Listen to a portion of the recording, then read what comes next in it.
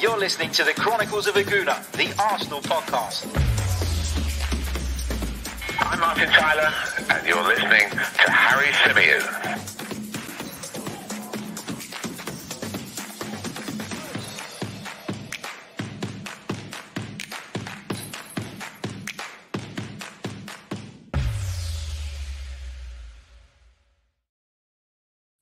Hello and welcome back to the Chronicles of a Gooner, the Arsenal podcast brought to you by 90 minutes. Transfer deadline day. Everything's crazy as usual. There's reports coming out left, right, and centre.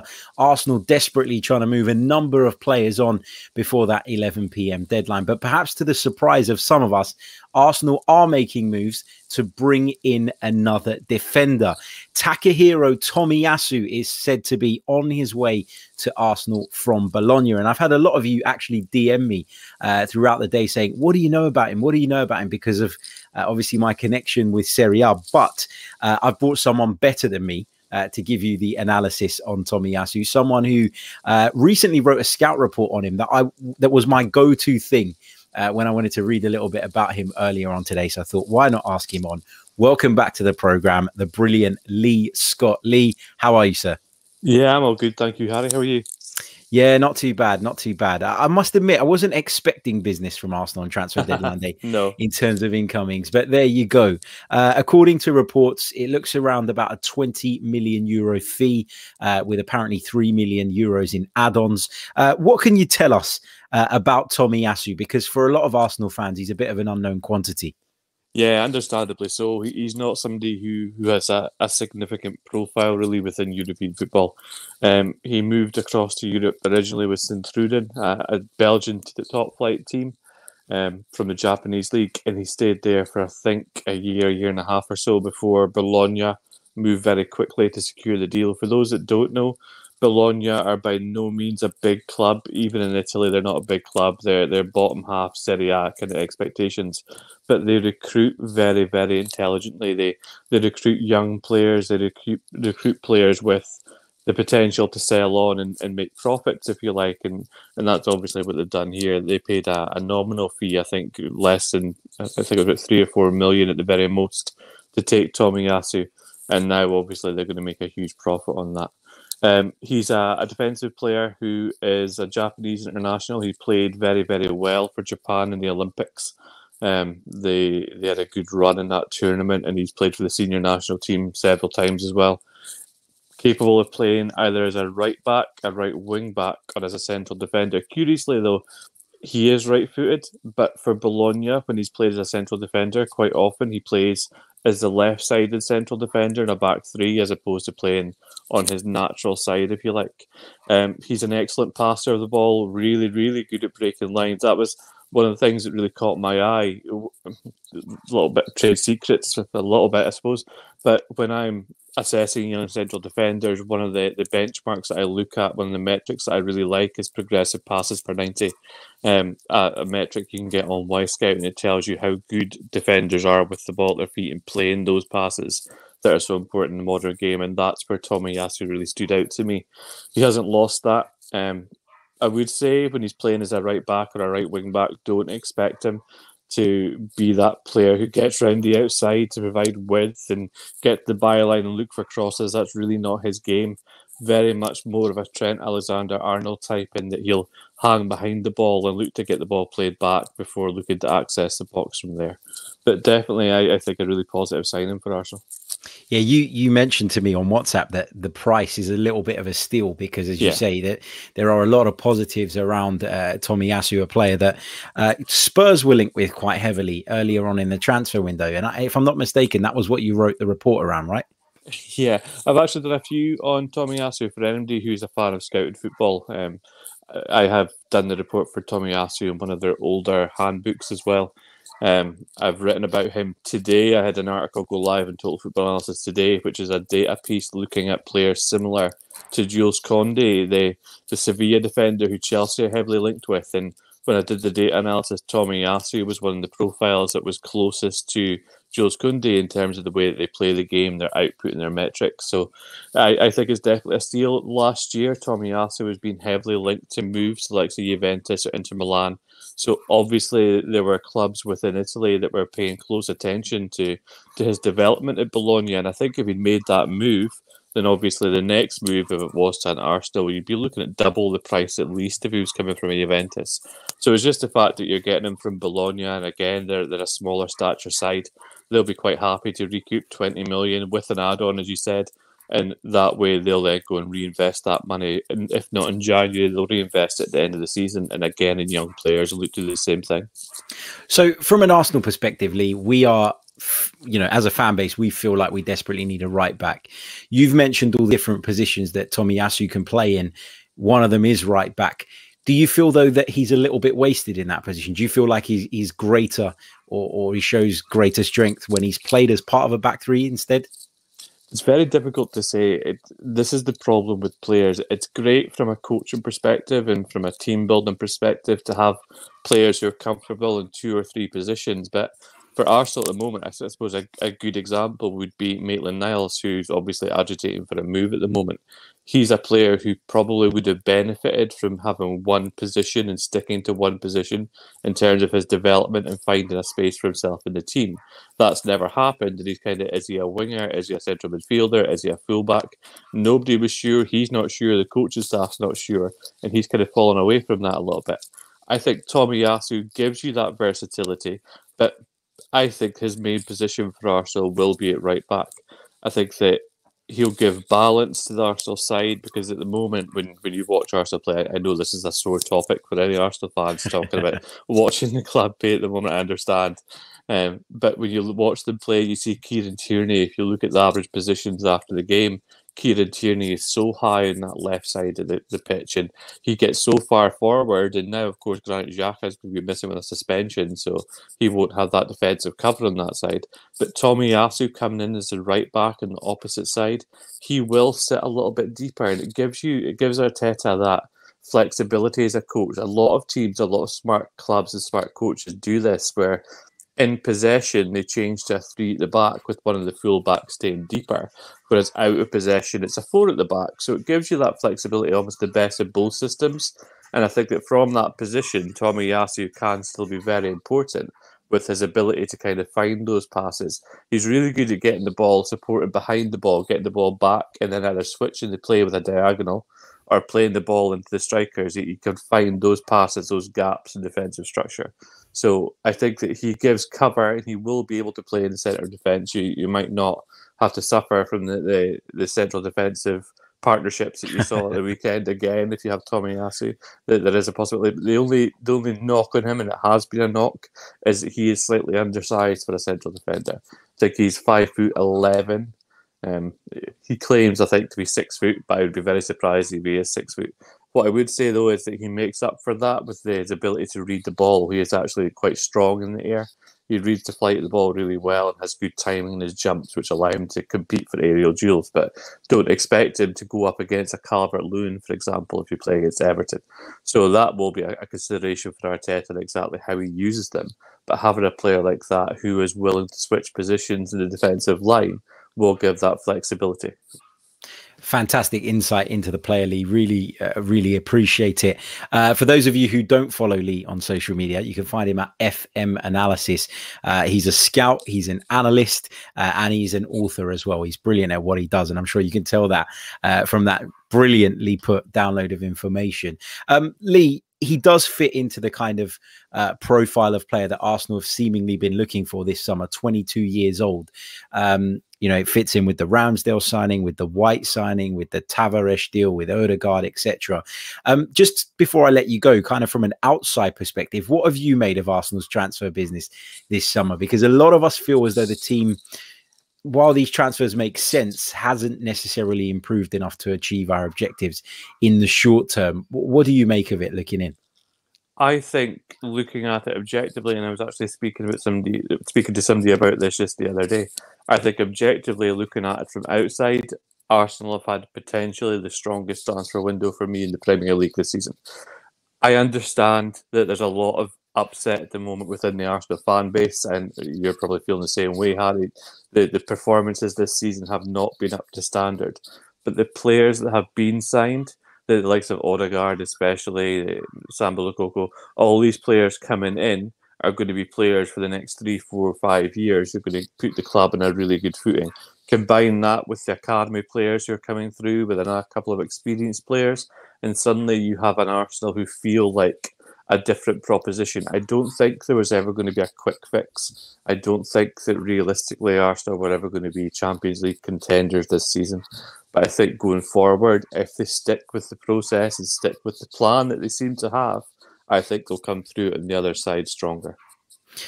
Fingers crossed you're right. I feel a little bit better now I've heard it from you. Fingers crossed you're right. Uh, Lee, thank you so much, mate, for coming on. Really, really appreciate it. I'm sure we'll catch up soon.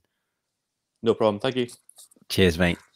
That was the uh, brilliant Lee Scott, uh, football scout, analyst, and author extraordinaire. Great to have him on the show uh, for the first time in a long time, actually. So uh, brilliant to talk to him.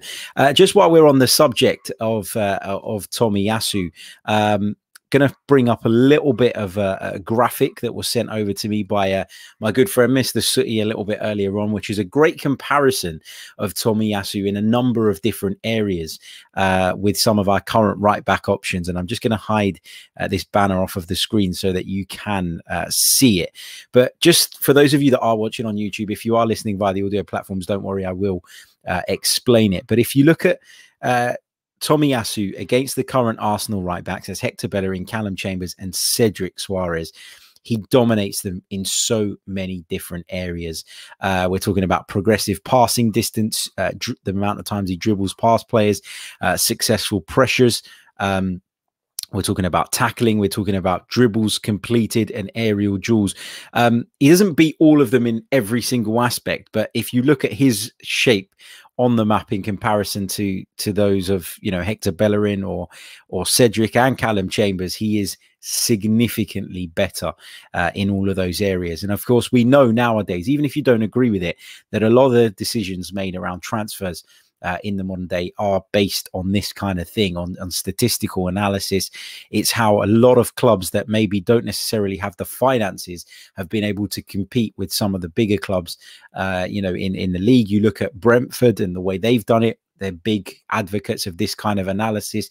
You look at Atalanta, who are also excellent in their recruitment. Leicester City, to cite an example a little bit closer to home. So uh, it is encouraging that Arsenal have at least done their homework uh, on this player. And uh, fingers crossed he can come in and have an impact.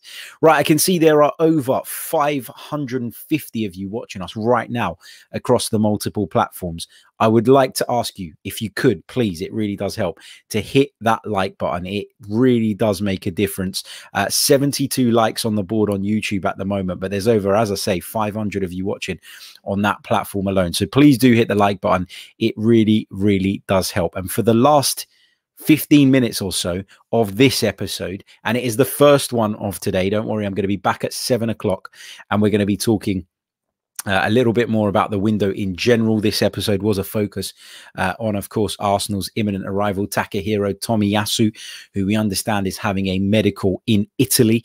So uh, we'll we'll save the talk about the rest of the transfer window for a little bit later on because there is plenty to discuss as there always is with Arsenal. But as I say, hit that like button. Quick reminder that this episode and this show is brought to you by manscaped.com. So for all your male grooming needs, head over to their website, uh, get involved. And if you use our discount code 90min20, you'll receive 20% off of your order as well as free worldwide shipping. So why not become one of 2 million men worldwide that are currently manscaping.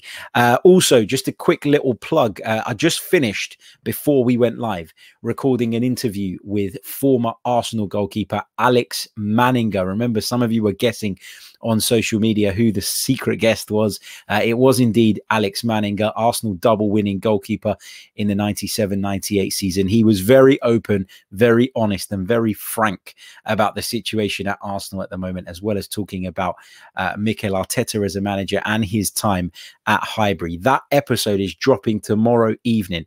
Uh, so once you see that pop up on the schedule on YouTube, uh, please make sure you head over, give it a like, and I'm sure you're going to find it fascinating. Uh, right, let's go over to the chat box and see uh, what you guys are saying. Um, just a quick one while I remember talking about the Alex Manninger episode, we did say we're going to run a competition with those who got the uh, the guess right, and we are going to do that. I'm going to put all your names in a hat, and uh, on the earlier show tomorrow, we're going to draw out the winner, and we'll get a prize sent in your direction. Uh, right, let's see uh, what you guys are saying in the chat. Lots of debate and discussion around how good this transfer window has been overall, and we will do a special episode on that uh, once the window slams shut. Um, Uncanny Hexagon says, uh, "Just hope he." Ain't another Inamoto and actually plays. I do feel like at times, and I don't mean this disrespectfully, but I do feel like at times in the past, Arsenal made signings partly based on players' ability, but partly because of their marketability and and to open the doors to certain markets in certain countries. I don't see that though with Takehiro Tomiyasu. I think he is a player that you know can add something to this squad. He's a player that, as I mentioned, was heavily linked with Tottenham Hotspur. Uh, I was asked questions about him then. Um, didn't think that Arsenal would go in for him. I know it's been mentioned in the past as a potential option, but I've got to be honest. While I kind of sort of remained hopeful that Arsenal would do business between now and the end of the window, I wasn't really expecting a great deal other than the outgoings that we know uh, Arsenal are working on behind the scenes at the moment. Uh, lots of you commenting on the potential signing. I think with this one, I think it's again, it's, it's very similar to the other signings we've made this summer, right? There are they are players who, um, who we think can go on and have a big impact. But I also understand why fans are a little bit like, well, you know, is this guy actually going to come in and make us a better team today, now, you know, instantly? And I and I get all of that. I get that concern. I really do. But I, I do think that this kind of needed to happen in terms of the transfers. My gripes with Mikel Arteta right now uh, are not necessarily around transfers. It's around other things. It's around the management of the team. It's around the management. Um, of the uh, of the side in general. Uh, we're going to talk a little bit about the Kia Joorabchian stuff a little bit later on on the uh, next episode because, as I said, there is a lot of um, there is a lot of talk about that. He's been talking about the Willian situation, and as I say, we'll we'll properly round up today uh, on the 7 p.m. UK time stream. That'll be available in podcast format shortly afterwards as well. Uh, F4 Freestyler says, Harry, do you see Arsenal signing anyone else? Except for Tomiyasu. I don't. Uh, we were told, weren't we?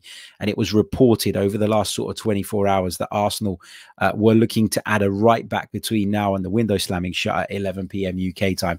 And it seems as though that is exactly what Arsenal are looking to do. I don't envisage them doing any further business. But just like the Tomiyasu deal, you know, a lot of people are kind of tweeting and saying, yeah, Arsenal have moved really quickly uh, to do this today. Well, obviously, the groundwork would have been done prior to that. Just because it hasn't been reported and the cat wasn't let out of the bag, it doesn't mean that Arsenal weren't already in discussions uh, with regards to Tomiyasu prior to today. So I think we need to be mindful of that. Could there be something going on, bubbling under the surface that we don't know about? Maybe, uh, but I'm not sure uh, that there is, and therefore I can't commit to saying that we definitely will do additional business. Um, Chris McD says that Harry, do you think with the addition of uh, Tommy, I love the way we've shortened his name already. Uh, do you think that Arteta will revert back to a 3 4 3 with him, White, and Gabby, the centre backs? I'm not sure.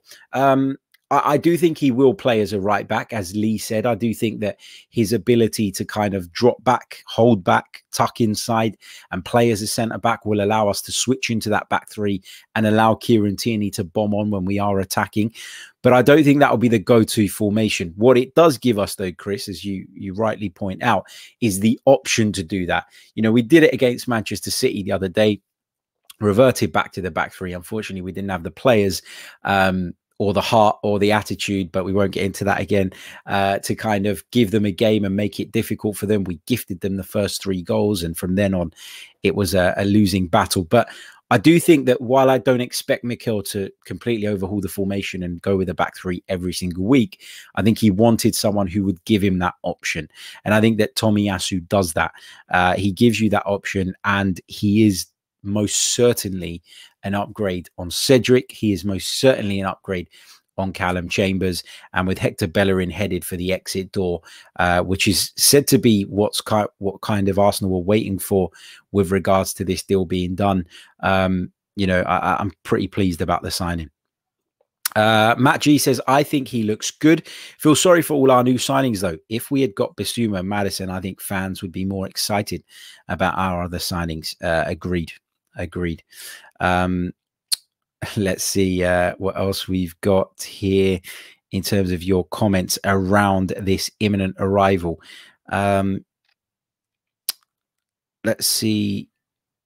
Here we go. Uh, Rydog says, Tommy Tomiyasu is in the 99th percentile in aerial duels for a right back, 83rd as a centre back. He's excellent in the air, and as a team that soaks up pressure, he's well versed in defending. Um, what else have we got? Um, lots of you talking about Bellerin, Willian. Again, we'll, we'll talk about that a little bit later on. Um, in terms of going, you know, with the, the whole window kind of analysis, Bodlu says you can't just spend all your money on young players. There has to be a balance. There's no future if there's no present valid point as well. And uh, again, it's something that we're going to get into. We're going to get into a lot of links. Um, some of you asking me for transfer news. I can't give you transfer news uh, that I don't have because there isn't any at this moment in time, other than Takehiro Tomiyasu is closing in on a move to Arsenal. So uh, there you go. Thought I'd bring you guys a special edition based on uh, Takehiro Tomiyasu. Hope you enjoyed the insight from Lee Scott. And as I say, we'll be uh, on a little bit later on today uh, with at least one more stream. And if anything major happens, we might even bring you a second one uh, later on as well. Uh, so make sure you've hit the like button on this one if you haven't done so already. Make sure you've subscribed to the podcast if you're new. The content is a little bit ad hoc when it comes to deadline day, but that's just the way it is. Make sure you like, make sure you subscribe. If you want to become a member, click on the join button. Uh, also, check out Manscaped, our sponsors, and I'll be back very, very soon with more. Until later on today, ciao and uh, see you soon.